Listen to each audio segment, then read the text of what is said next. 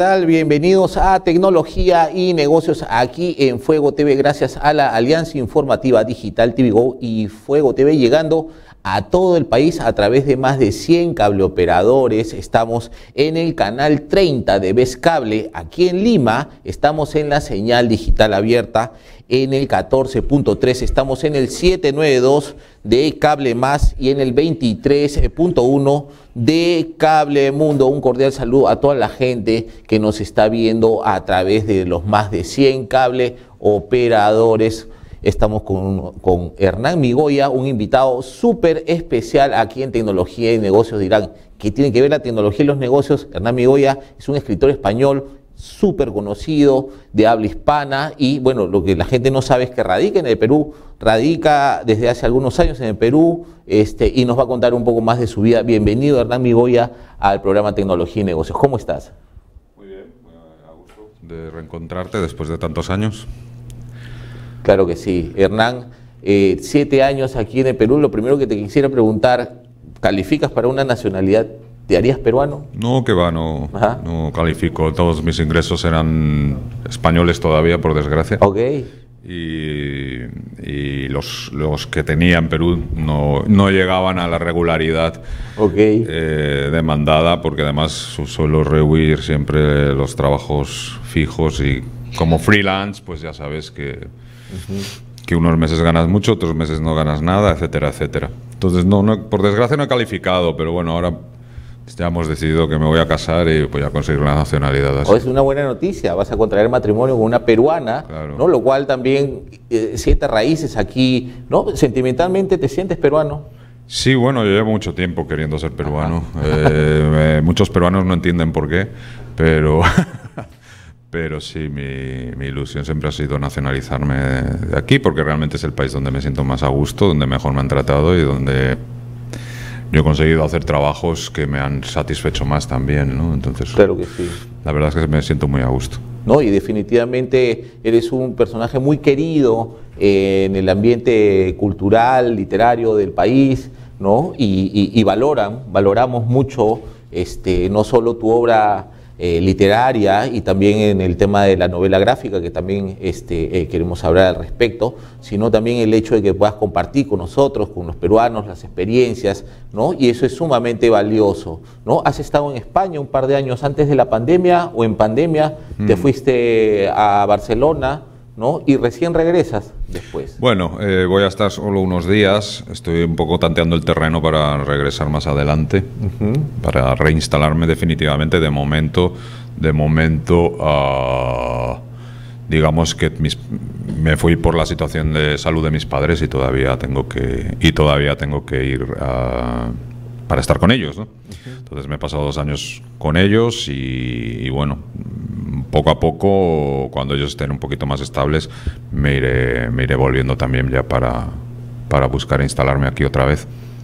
Eh, ese tanteo que mencionas, eh, eh, ¿cómo lo has visto? ¿Cómo ves el país? ¿Lo dejaste prepandemia y cómo lo encuentras? El país, pues cachondo como siempre, o sea, divertido, la gente ya empieza otra vez a vivir, las mujeres siguen siendo igual de guapas o más, los hombres bueno, siguen siendo hombres. y, la verdad es que yo veo que la gente está teniendo otra vez muchas ganas de vivir, ¿no? O sea, no he visto mucha diferencia, excepto por el tema de la pandemia, no he visto, de, los, de los coletazos de la pandemia, no he visto mucha diferencia eh, del Perú de antes, ¿no? Veo que la gente sigue buscándose la vida por la calle, sigue viviendo al día, sigue con mucho sentido del humor, Ah, sigue siendo lo que a mí me enamora ¿no? De, del alma peruana. O sea que en ese sentido estoy muy contento de, de, reencontrarme con eso estos días. ¿Te sientes más a gusto en Lima o en alguna provincia en especial? Yo soy muy fan de, de viajar por poblaciones andinas. Me encanta Lima, me enamora Lima, siempre vivir en Lima. Eh, pero reconozco que que cuando voy de gira o cuando voy a ferias o cuando me invitan a dar una charla o, algún conversatorio por, no sé, por Huancayo, por Cajamarca, por, eh, por todos los diferentes Cuzco, todos los diferentes lugares que he podido estar de la geografía andina, me han tratado siempre de maravilla y me identifico mucho con la manera de ser de allá, ¿no? Me identifico mucho con esa manera de un poquito más austera de tratar a la gente y de, y de y sobre todo de no abrirse hasta que no conoces bien a quien te viene delante, ¿no? Yo soy un poco así, entonces entonces la verdad es que me identifico mucho, pero bueno, Lima la adoro porque está llena de vida. Eh, pasan 100.000 cosas a la vez. Cuando sales a la calle están pasando 100.000 cosas a la vez. Eh, tienes que mirar al cielo para ver si no te va a caer un piano encima, ¿no? Continuamente, porque dices, es que aquí todo es posible.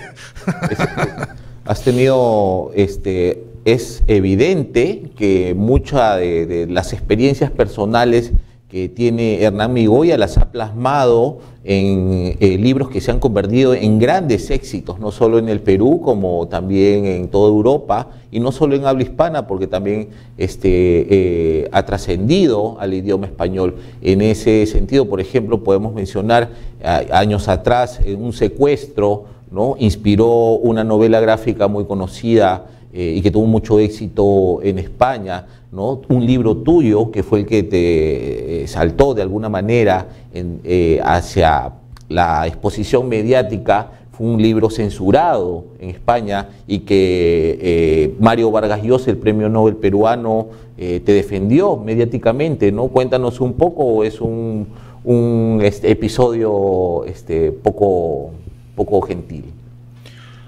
Bueno, fue mi debut literario, sí. Ah, ya va a cumplir todas putas. Es un libro que de satírico de cuentos ah, sobre relaciones sexuales y amorosas que va a cumplir ya 20 años. Entonces, en ese sentido, ah, fue un libro muy polémico en su momento. Eh, fue un libro que se quiso prohibir, ¿no? Cosa que siempre es interesante para un escritor, que te quieran prohibir es bueno, ¿no? Entonces, eh, no, simplemente hubo escritores que se declararon a favor de prohibir el libro, cosa que no es tan buena porque son tus colegas, y otros escritores que defendieron la libertad de creación, entre ellos Vargas Llosa, a, quien siempre le voy a estar agradecido por ello, ¿no? Después de eso, digamos que sí hubo como una especie de... he publicado como 12, 14 novelas más, pero sí hubo como una especie de, marginalización ¿no? de, mi, de mi obra, por así decirlo. ¿no? que, obviamente, al haber publicado un libro así, pues mucha gente me tenía como, muchos editores me tuvieron así como medio apartado. ¿no? Pero bueno, he ido como Tarzán, he ido de liana en liana, improvisando dónde está la siguiente liana, escribiendo muchos cómics también. Ahora estoy, acabamos de lanzar El amante de Lady Frankenstein, que es una, una simbiosis entre dos clásicos literarios, El amante de Lady Chatterley, mezclado con, con, Frankenstein, con la novela de Frankenstein, y entonces lo hemos hecho en cómic, ¿no? muy gráfico, con, con la excelente dibujante argentina Patricia Breccia que esto sí está disponible en Lima, lo he visto en muchas librerías limeñas. Y bueno, La amante Lady Frankenstein es una, es una relectura de esos dos clásicos, diciendo que, porque para mí El amante Lady Chatterley es, es quizá la mejor, la novela que mejor define el principio del siglo XX y el capitalismo y todo esto, ¿no? Las primeras, las primeros, los primeros levantamientos eh, obreros, etcétera, ¿no? Eh, entonces, eh, mezclarlo con, el mito de Frankenstein era muy, muy interesante, porque te salía como una especie de análisis de la sociedad a través del sexo. Y bueno, eso siempre me ha interesado. Así que ha quedado muy bien, muy, muy divertida, una, obra de terror absolutamente, eh,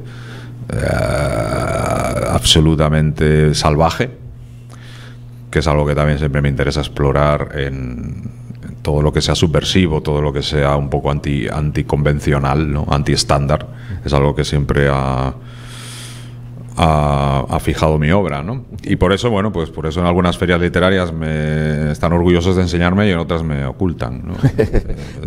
tengo, ese, doble... En Lima, en Lima hay escritores que se que se apresuran a, a fotografiarse conmigo y otros que salen huyendo, ¿no? Los de, ¿Sientes tú eso que repeles Sí, claro, sí, claro. Hay gente que me mira con miedo todavía. Y, sí, sí, sí.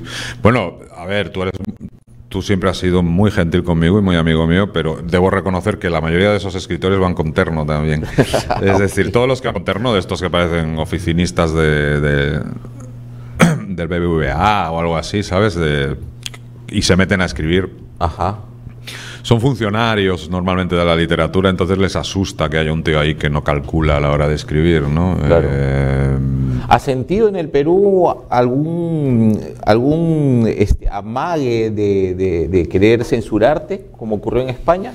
Bueno, yo una vez eh, promocionando La Flor de la Limeña, no me acuerdo para qué canal, eh, comenté que, que era la historia así de un escritor español que, que pasaba por muchas camas ¿no? de peruanas, pero que en realidad no estaba basado en la realidad porque yo era gay.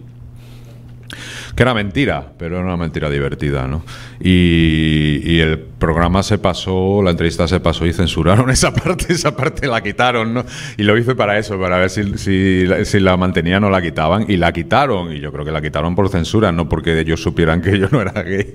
O sea, Hiciste, hiciste con Marcos y Fuentes un porque un cómic. poco gay sí que soy.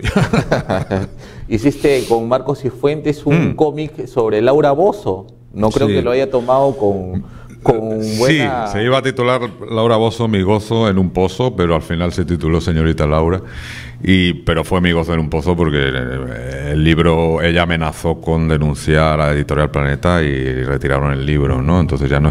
Es una pena porque es un libro de cómic que ganó el premio Luces al mejor cómic. Ah, fue retirado de- Sí, del sí, mercado. ha sido, no, no se puede encontrar. Supongo que alguien lo habrá pirateado y a lo mejor alguna edición pirata se puede encontrar, Claro. pero. Pero en realidad eh, es una pena porque ganó el premio Luces del 2016 al me- a la mejor novela gráfica, al mejor cómic peruano, cosa que a mí me enorgulleció mucho. Y por otro lado, estaba siendo el cómic peruano más vendido de- del país y de la historia del, del- del cómic Ah. aquí, porque llevaba ya como 3.500 ejemplares en unas pocas semanas, ¿no? Pero Ahora, yo, lo he quitaron de la venta. Yo he escuchado algunas entrevistas tuyas, ¿no, Hernán? Que has, eh, eh, por ejemplo, te gusta mucho el tema de la cultura chicha, ¿no? ¿Qué harías si te encontraras con Laura Bozo? Ella también es un ícono de la cultura chicha. Mm, ya, pero me gusta encontrarme con iconos de la cultura chicha que no tengan problemas con la justicia, ¿no? Eh, entonces eh, prefiero, no sé, prefiero encontrarme. Para mí un icono de la cultura chicha es Melcochita, eh, a quien admiro, la Tula Rodríguez, a quien admiro y que me encanta como mujer. Eh, no sé, la cultura chicha hay muchísimos. Corazón Serrano, un grupo que me encanta pero yo no pondría a, no sé no pondría a Laura a, a la altura de, de esa gente que se admiro no para mí es no tú, sé. tú está viajas, bien está bien México no sé si sigue en México es- sigue en estás en, una, en, quedarse. en- en un aeropuerto y te la cruzas, estás en la cola de- del boarding pass ahí con Laura Bozo. ¿Le hablas? ¿Te Yo- reconocería ella? No, ella no me reconoce porque yo soy una persona que, que no soy famoso y soy, soy un perfil muy bajo en realidad, pero no, no, no. O sea, a ver, he conocido a gente famosa televisiva, ¿no? Y hay mucha de esa gente con la que me llevo bien. O sea, que en ese sentido no, no tengo ningún problema, pero vamos, que tampoco voy persiguiendo a, a los famosos de la tele para, ¿Habría para plan? saludarles. ¿Habría planes eh, para hacer televisión en el Perú? ¿Te gustaría? Hice ya un par de Claro. hice ya un par de intervenciones televisivas, todo eso, ¿no? Estuve en el programa de Magali, en un programa con Mónica Cabrejos, pero yo creo que, que- que realmente soy un inútil para la televisión. O sea, para la televisión se necesita, se necesita, tú lo sabrás mejor que yo, ¿no? Un terno. Aparte de un terno, se necesita un poco de, de- de descaro, ¿no? De desvergüenza que yo tengo escribiendo, pero que no la tengo eh, opinando. Es decir, a mí me lo pusieron todo muy fácil en el programa de Magali para que empezara a despellejar a ciertos personajes. y yo, no sé, soy una persona respetuosa con, con- con- con los, con los demás, creo, ¿no? Entonces eh, yo no, no, no me salía, no me nacía al empezar a insultar o al empezar a reírme Claro. de, de otras personas, ¿no? Por más famosas que sean. Entonces, eh, eh, yo creo que cuando acabó el programa yo miré a Ney y Ney me miró con una espe- una- esa, especie de esa especie de desprecio que se tiene hacia la gente que, que, que ha nacido para ser un fracasado, ¿no? En la televisión me miró así como diciendo... no hay nada que hacer contigo, ¿no? Bueno, pero, tú no eres un fracasado en, el mundo... Pero ahí sí me demostré que realmente para la tele creo que no sirvo, ¿no? A no ser que de repente, no sé, me pongan a presentar un programa así de clásicos españoles de la, de la música setentera, ¿no? Manolo Otero y cosas así, ¿no? Eso, lo haría bien. Bueno, aquí hubo un programa que se llama Enhorabuena, ¿no? Que Jorge Henderson, ¿no? Y estuvo muchos años y era música del recuerdo, ¿no? Como lo, sí, esas cosas, música melódica, eh, latina, española, todo eso me gusta, eso lo haría bien. Presentar un programa así lo haría bien. Pero claro, solo me, solo me buscan normalmente para la cochinadita chicha, ¿no? No, no, no chicha, sino del corazón, de estas así a lo, los ampais, todo esto, ¿no? Y a mí eso como que no me interesa demasiado. Claro. Bueno, a, Miguel Bosé le preguntaron los periodistas eh, qué prefería, el pisco sour, el ceviche. Tú mueres por la comida peruana. Prefiere el ceviche. ¿Pisco o cerveza? Ah, Los dos. Yo soy de pisco sour, soy un poco, soy un poco turista típico, ¿eh? ¿Hasta cuánto puedes Chilcanito, chilcano, eh, coca me han ofrecido, pero no he tomado.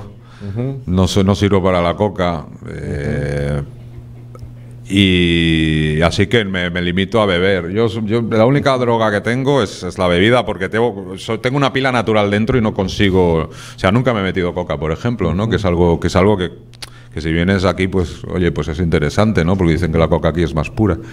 Pero no, no, no me ha dado probarla. No la he probado ni en España siquiera, que es una porquería, ¿no? Entonces, a pesar de que tú sabes que todo el mundo que está metido en el mundo del espectáculo prácticamente es cocainómano, ¿no? Enseguida te ofrecen todo el rato, pero pero metiendo más a la... Yo soy de vida más sencilla, ¿no? Más austera. Me emborracho con chilcanos, con pisco sours, con cusqueña. Me gusta muchísimo la cusqueña. No entiendo cómo os gusta a los peruanos la cristal, que es agua pura, ¿no? Eh, a mí me gusta mucho la cusqueña, la tostada, la negra, o sea, creo que esa cerveza si fuera de otro sitio sería mucho más cara de lo que es, ¿no? Y sin embargo aquí como que no es tan tan extendida. No, le tomo mucha atención. ¿no? me han pagado, ¿eh? Para decir esto.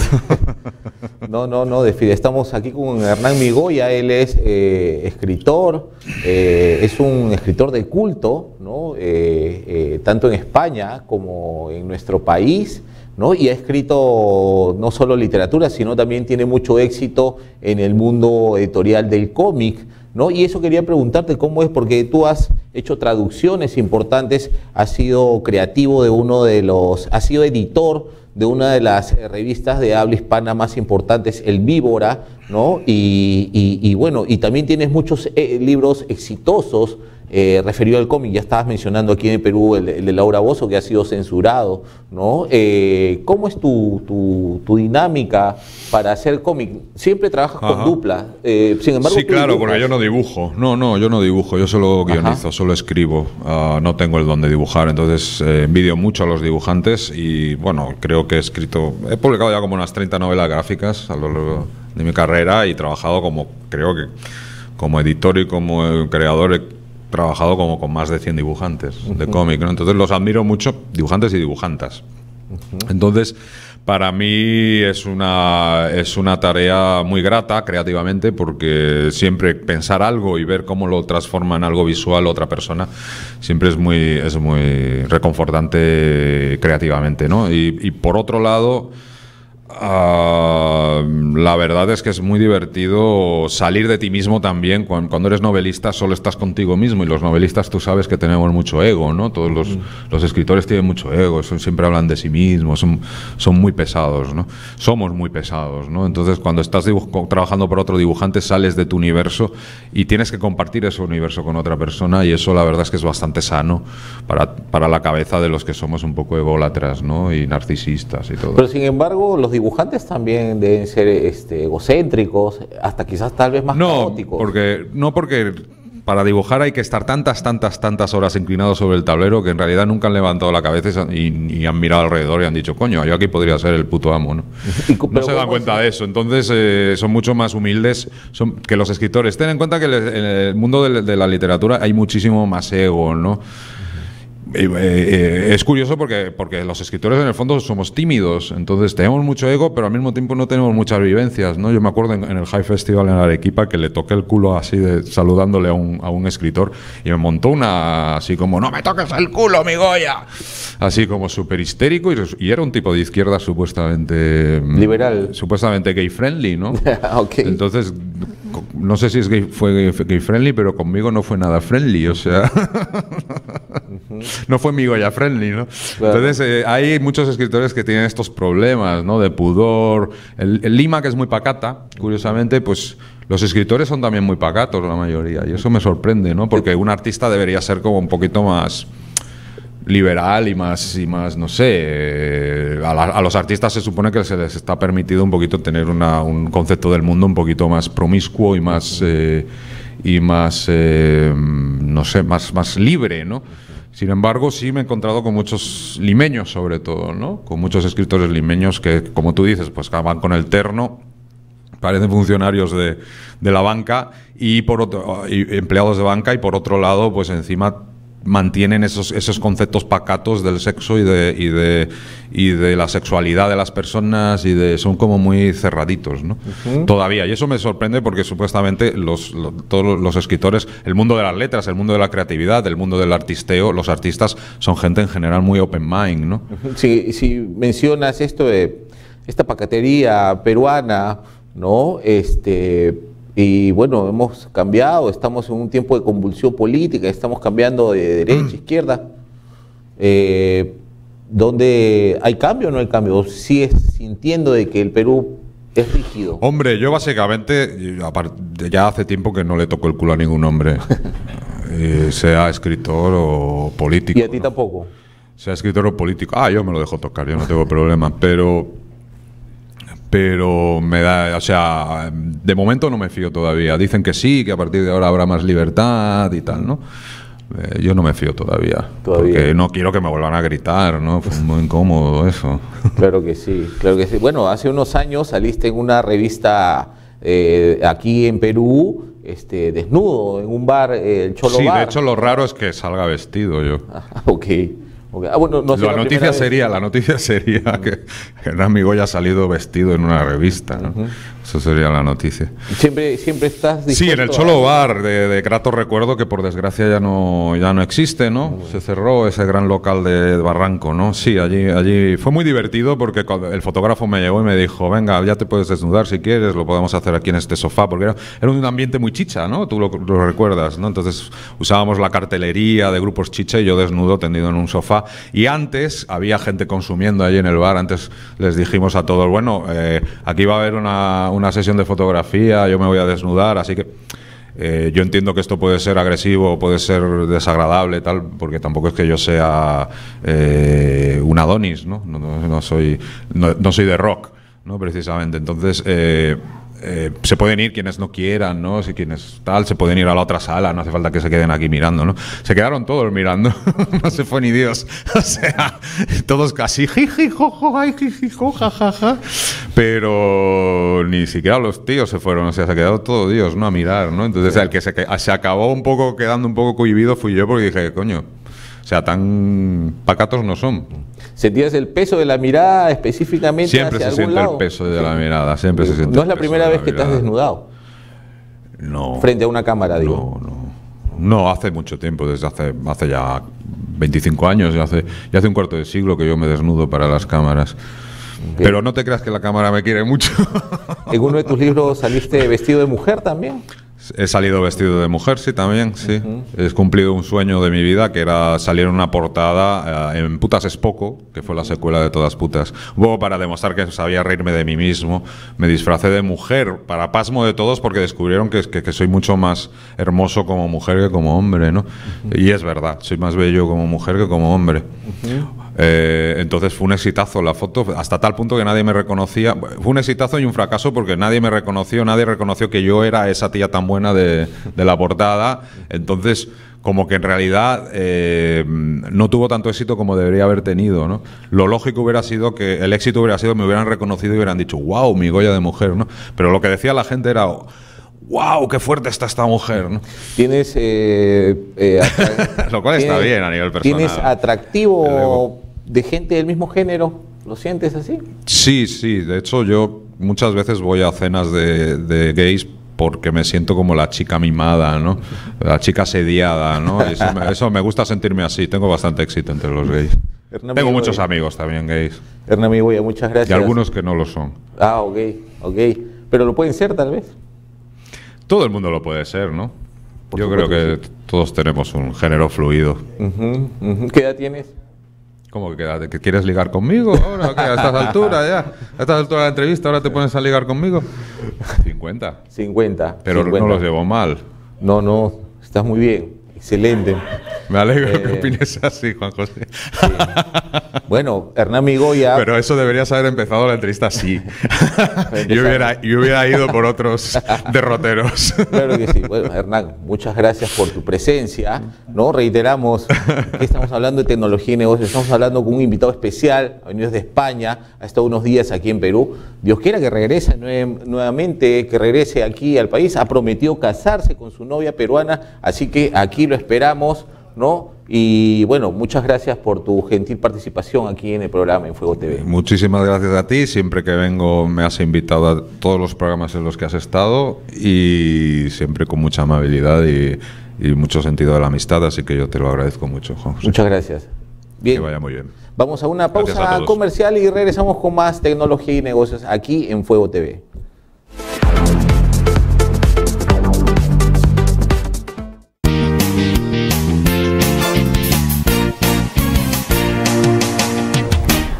Soy Leslie Erika y ahora formo parte de la familia de Fuego TV. Desde este 5 de marzo, Mayan Sol se renueva en esta tercera temporada. Tendremos invitados especiales, sorpresas, promociones y mucho más. Solo aquí por la señal de Fuego TV. Enciende tu vida.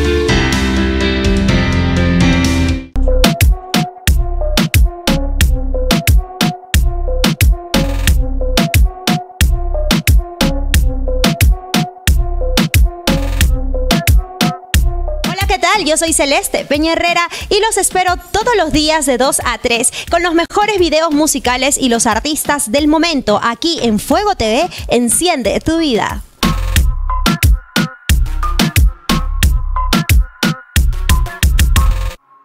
Hola, ¿qué tal? ¿Cómo están? Te saluda el doctor César Portela para invitarte todos los días a las 10 de la mañana y 8 de la noche en tu programa Más que tu médico aquí en Fuego TV.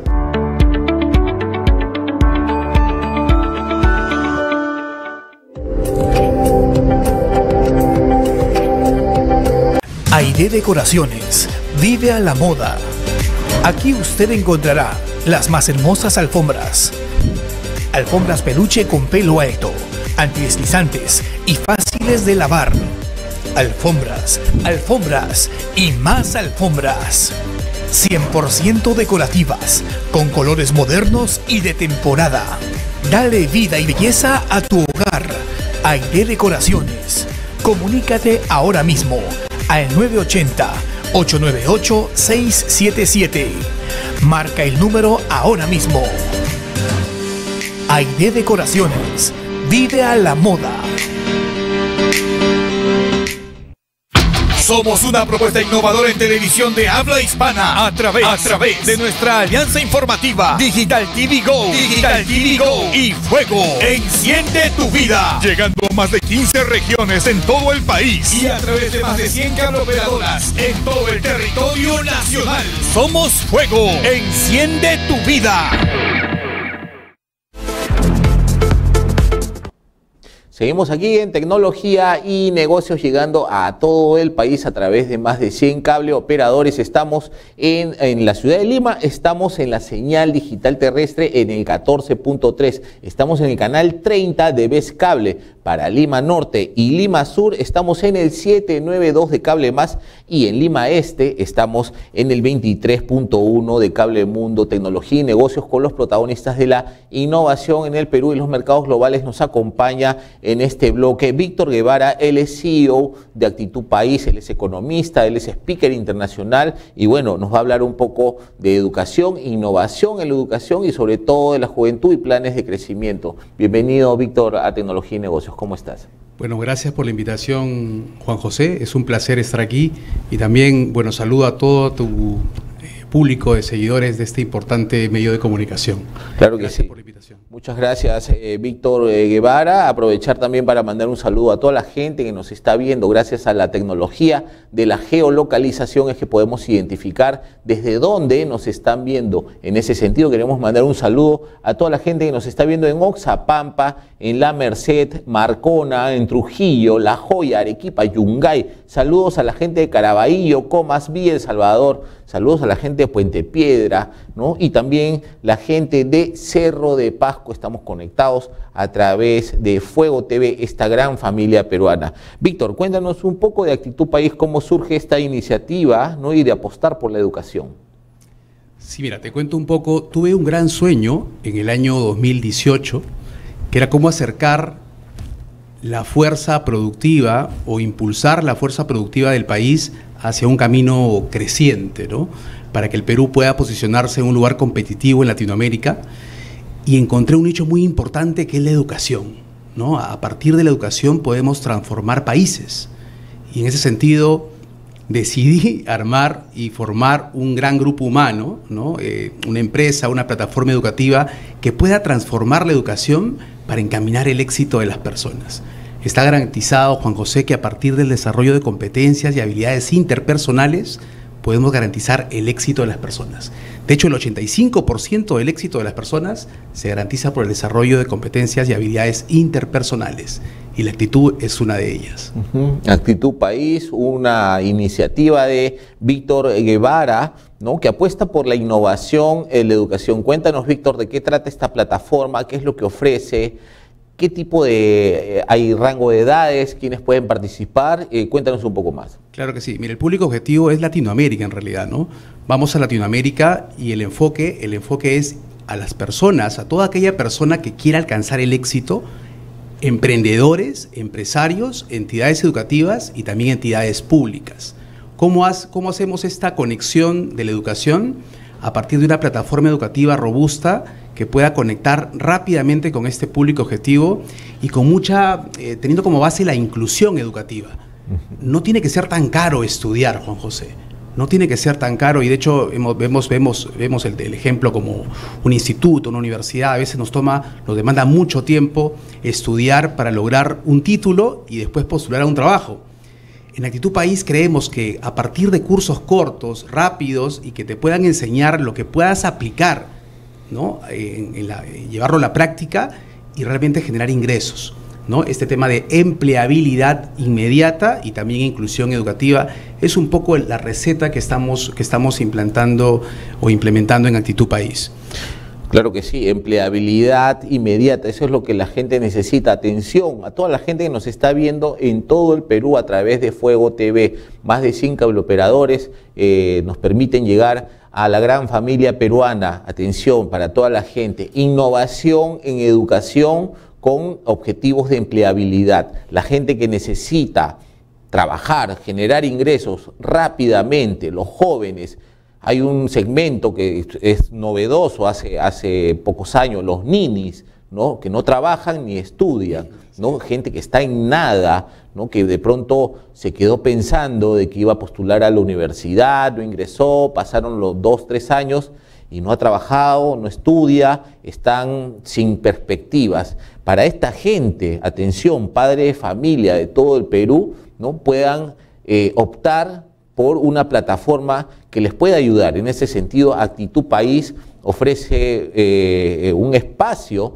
donde puedan desarrollar carreras inmediatas, que permitan insertarse laboralmente de forma rápida y generando ingresos porque son carreras, son oficios, son actividades que son requeridas en el mercado actual. Ojo, que tienen que ver con tecnología, claro que sí. Eso es lo que nos va a explicar Víctor Guevara. Cuéntanos un poco qué, cursos ofrece Actitud País.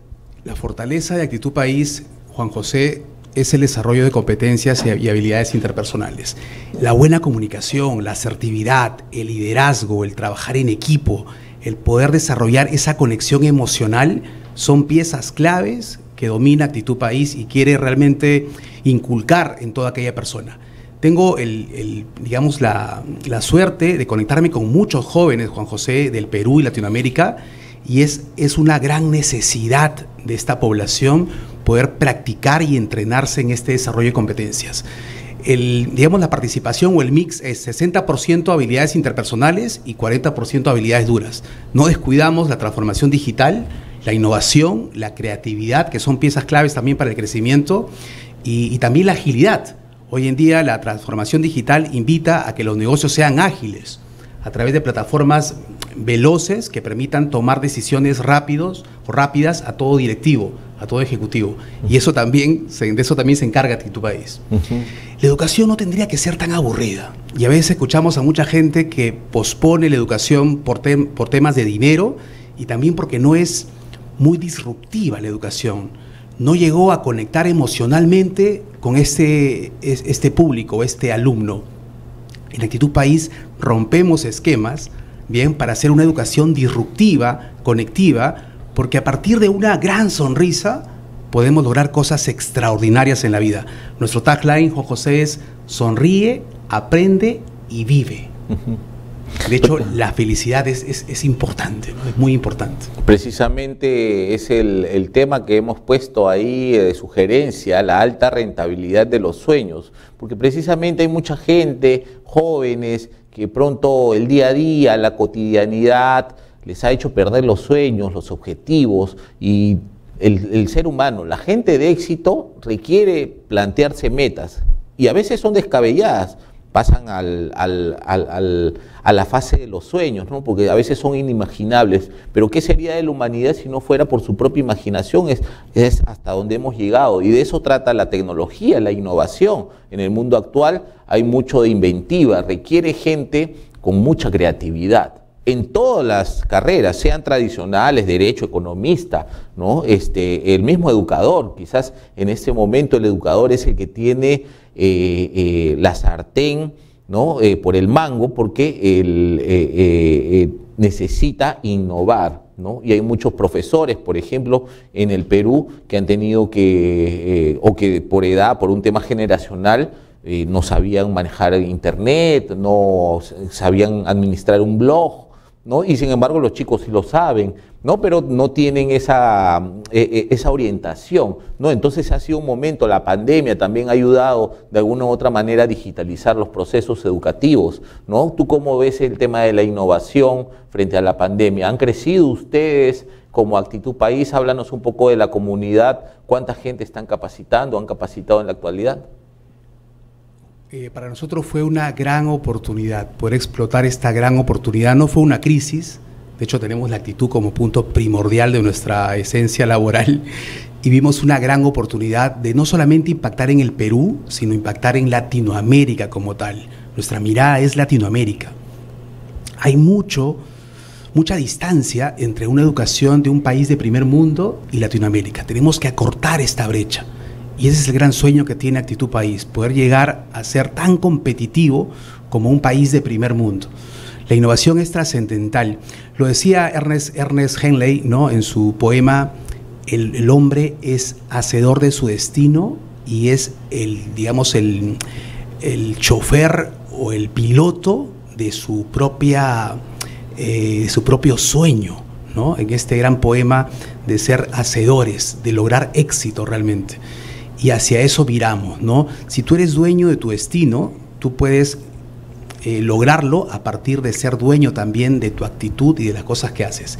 La creatividad y la innovación son fundamentales. La transformación digital vino a quedarse, pero la transformación digital no tiene que ser un impedimento. Al contrario, tiene que ser un aporte de valor para todo negocio y toda persona. Tenemos que acercarnos al tren de la transformación digital. Bien, acercarnos y, utilizarnos, y utilizarla como una gran herramienta de crecimiento y éxito. No es tan caro tampoco, Juan José. No es caro llevar transformación digital a tu negocio. Hoy en día desde herramientas muy simples y sencillas, inclusive apps que te ayudan a gestionar tu negocio, puedes mejorar la productividad de tu negocio y mejorar también, obviamente, la rentabilidad. De hecho, Víctor Guevara también impulsa la rentabilidad de los sueños, ¿no? que es muy importante. Claro que sí, es importante. Hay una, hay, hay un, una frase muy conocida, mientras sueñes, eh, nunca despertarás. ¿no? Es, es, es, un, es un dilema, ¿no? Hasta cuándo soñar y, cuándo empezar a hacer realidad esos sueños, ¿no? Cuándo ponerse a trabajar, ¿no? Mente, corazón y manos, ¿no? Echarse a andar, ¿no? Es, es, este, hay mucha gente que se queda todavía, no, no toma acción. Tres cosas sencillas. Primero, sueña, busca un espacio donde tú puedas estar cómodo, tranquilo, y traza un sueño. Nunca el sueño puede ser pequeño, un sueño grande. Metas grandes, resultados grandes. Sueña, nunca dejes de soñar. Segundo paso, escríbelo. Escribe tu sueño. Búscate un papel o en tu mismo celular. Diseñalo, escríbelo. Y tercer paso, ejecuta. Hay mucho, mucho, eh, mucha oportunidad y mucha debilidad en el tema de la ejecución. Latinoamérica tiene que mejorar su nivel de ejecución y es ahí donde tenemos a mucha gente que de pronto no alcanza, no alcanza el éxito. ¿no? Para alcanzar el éxito tenemos que tener un equilibrio muy importante entre lo personal, lo profesional y lo laboral. Tenemos que trabajar las energías también, que son muy claves. Cuatro energías fundamentales. A ver si pueden anotar esto que es clave. La energía física, el deporte. La energía emocional, tu corazón, la emoción, ¿cómo la tienes?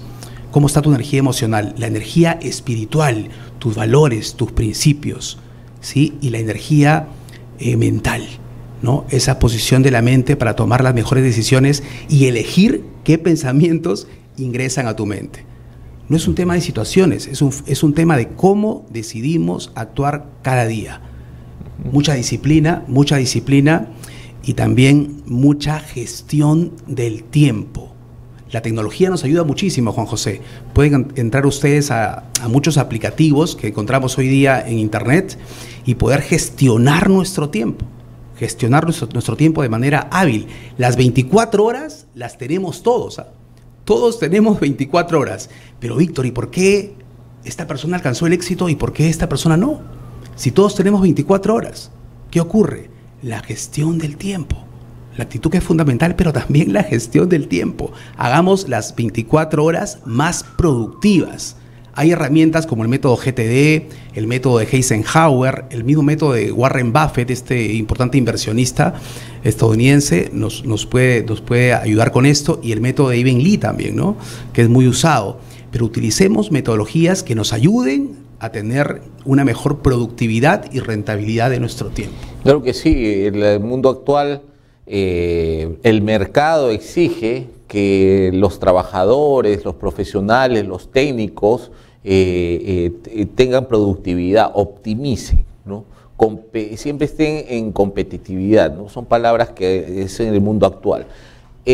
¿Cuáles son los oficios que tú sugieres como especialista que pueden ser importantes, pueden ser aprovechados por los jóvenes? ¿no? que quieran insertarse rápidamente en el mercado? Toda persona tiene que ser un excelente vendedor, marquetero, comercial.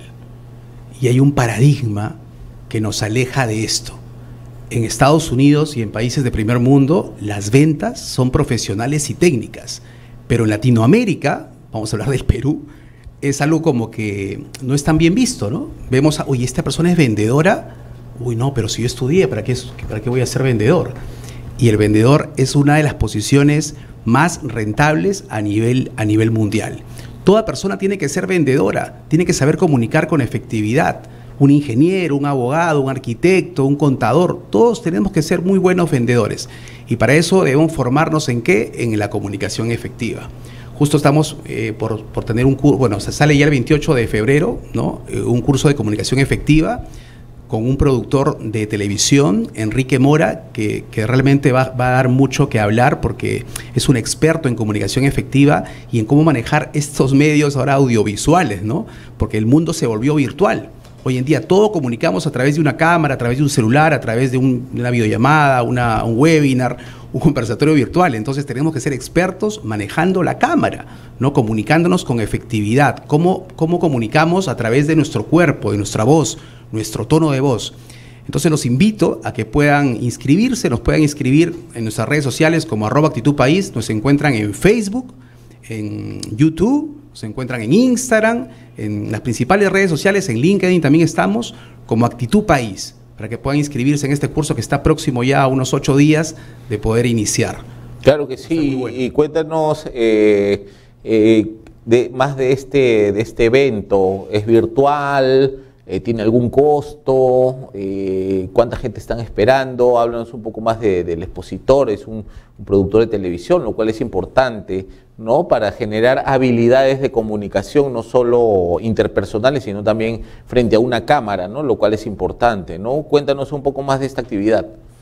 Claro que sí. Miren, si, si yo tuviera que resumir qué puntos me ayudaron a acercarme al éxito, en definitiva, es la actitud y esta gran comunicación y esta habilidad interpersonal de poder persuadir y llegar a conectar con las personas. Y eso no es sencillo, eso lo aprendemos con la práctica, tú lo has dicho. Hay que practicar y tenemos que entrenarnos, tenemos que entrenarnos. Por ello los invito a este curso que va a hablar mucho de actuación, de comunicación efectiva, de cómo dominar el arte escénica, y llegar a conectar y sobre todo a conectar con las emociones. Hoy en día las personas tenemos que ser lectoras de emociones para poder empatizar y ser asertivo en cada comunicación que tenemos. Bien, entonces los invito a este curso que va a ser ya a fin de mes y pueden contactarnos a través de las redes sociales o al WhatsApp 963-588-329, es el WhatsApp de actitud país para cualquier persona que quiera alcanzar el éxito a partir del desarrollo y competencias, el desarrollo de competencias y habilidades interpersonales. ¿Es presencial el evento? El evento es virtual, a través de Zoom, sí. Son seis días, son 12 horas, dos horas por día. Ok, es, es, muy bueno. Completo. Garantizamos, garantizamos realmente la formación y el entrenamiento de toda persona que quiera alcanzar, alcanzar el éxito. Claro que sí, esperemos pues que la gente se inscriba ¿no? Hacemos una, convocatoria desde aquí, el programa Tecnología y Negocios, ¿no? recomendando esta actividad que eh, lanza Actitud País. ¿Cuándo es? El...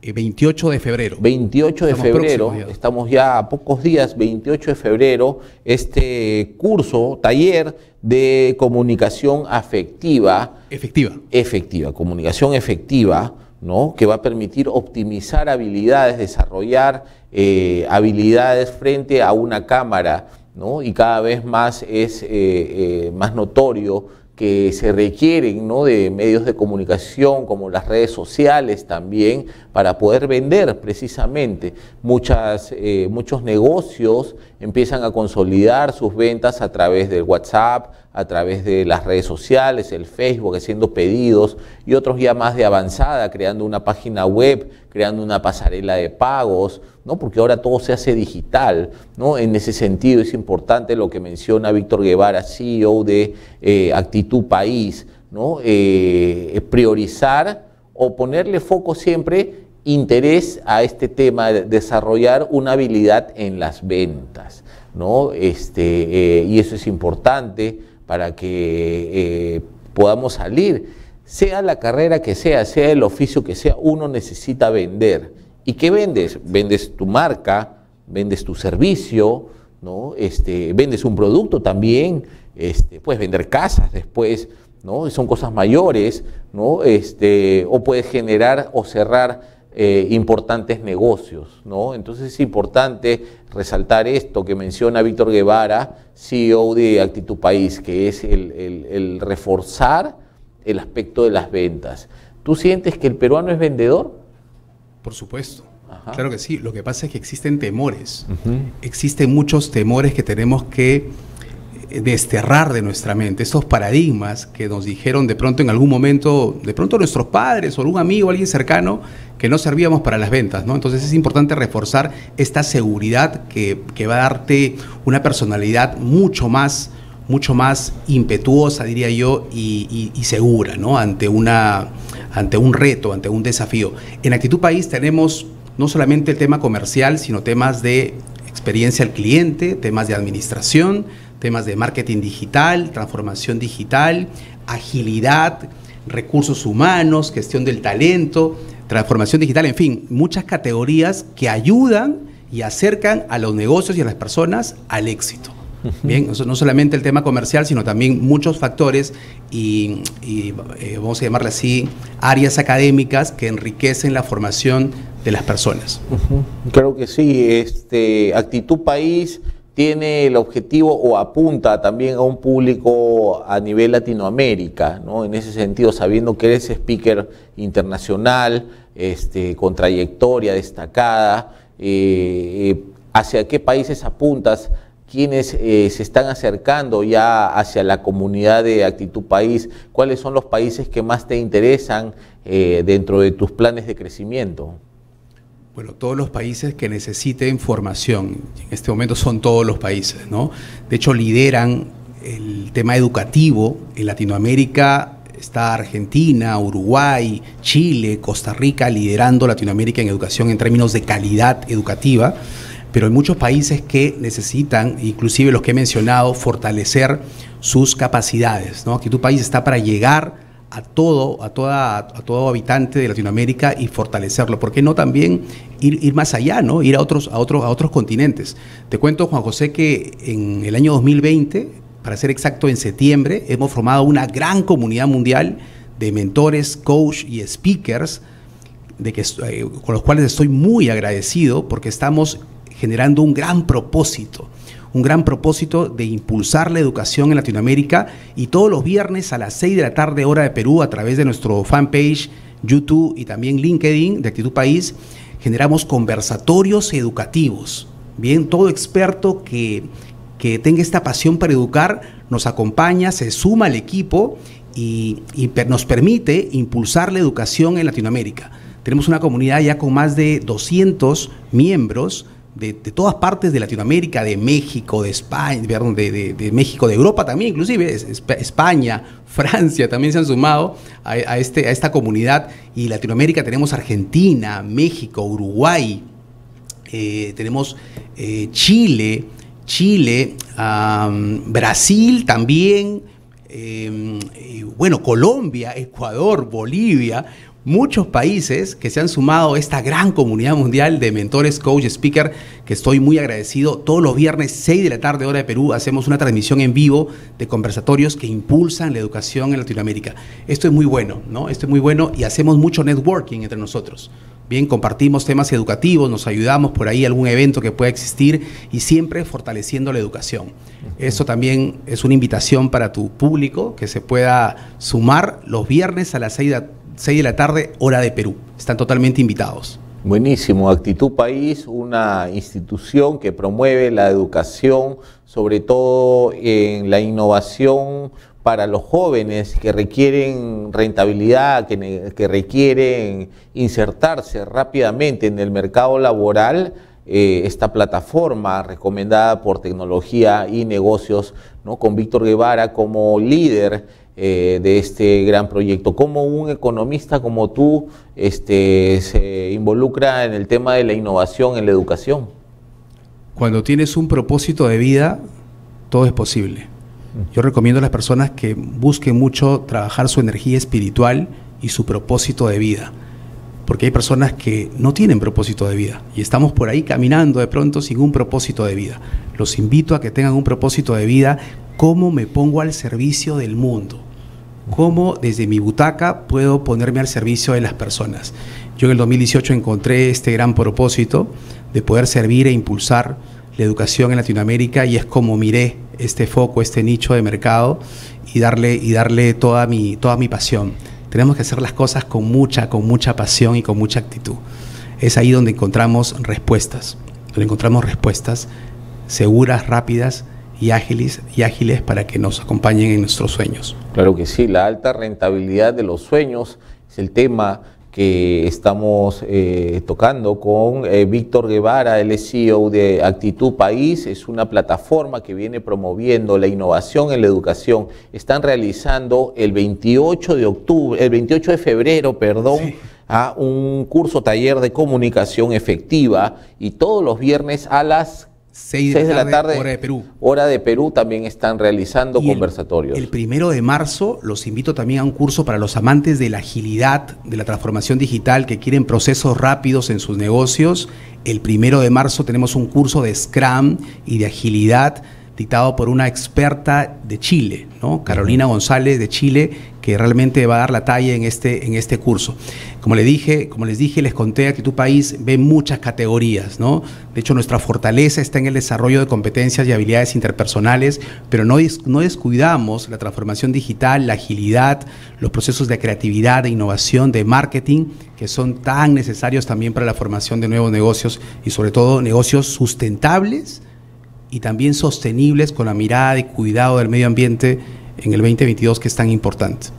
Claro que sí, para toda la gente que nos está viendo ¿no? en todo el país a través de más de 100 cableoperadores, Fuego TV, gracias a la tecnología de la geolocalización es que podemos identificar desde dónde nos están viendo ¿ah? eh, a través de más de 100 cableoperadores Fuego TV llegando a todo el Perú con la gran familia peruana. Saludos a la gente de Satipo, la gente de Pangoa, Acaba de aparecer alguien en Juliaca también que están conectándose. Saludos a la gente de Juliaca, de Juliaca, el sur del país. La gente de Chiclayo, Tingo María. Saludos a la gente de Cañete también, al sur de Lima. Saludos para toda la gente que se viene conectando eh, eh, en Fuego TV y a través de la tecnología que nos permite identificar eh, desde dónde nos están viendo y verificar de que estamos uniendo a la nación.